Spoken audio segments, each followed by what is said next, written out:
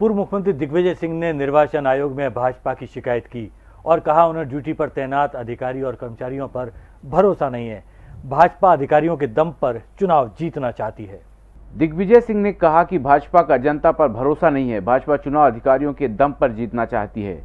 दिग्विजय ने कहा, ऐसी कई जगह अधिकारियों की नियुक्ति की गई है। ऐसे बेईमान और शिवराज के लिए कार्य करने वाले अधिकारियों पर उनका विश्वास नहीं है। उन्होंने कहा, अशासकीय बैलेट किसे और कितने दिए गए हैं, इसकी जानकारी नहीं दी गई।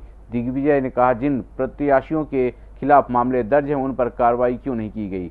उन्होंने कहा कमलनाथ निश्चित तौर पर मुख्यमंत्री बनेंगे। इस दौरान दिग्विजय सिंह ने सिंधिया की एक्टिंग तो की लेकिन महबूबा मुफ्ती के देश विरोधी बयान को लेकर चुप्पी साध दी और कहा कि अभी सिर्फ़ मध्य प्रदेश की बात होनी है। जो बैलेट पेपर डलता था वो सरकारी अधिकारी कर्मचारियों का डलता है। इस तरह का कोविड के ये पोस्टल बैलेट नहीं थे। सर तो सर हमको मध्य प्रदेश के अधिकारी कर्मचारियों पर पूरा भरोसा है लेकिन जो शिवराज सिंह चौहान झूठ बोल के धोखा देकर कर्मचारियों का हक मार रहे हैं। अरे कमलनाथ जी ने भत्ता पूरा देने के लिए निर्णय कर लिया था। अब उसमें मामा जी कह रहे हैं आपको 25 परसेंट हम दे देंगे। अरे पूरा दो ना।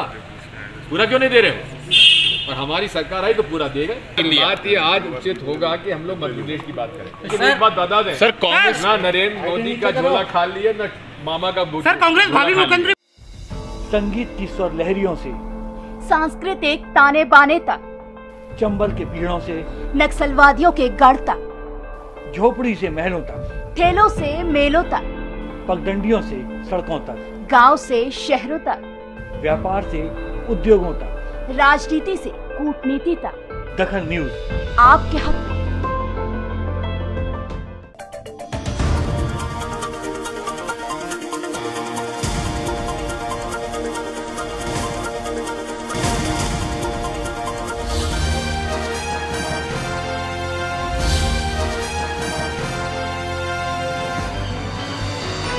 आप देख रहे हैं दखल न्यूज़।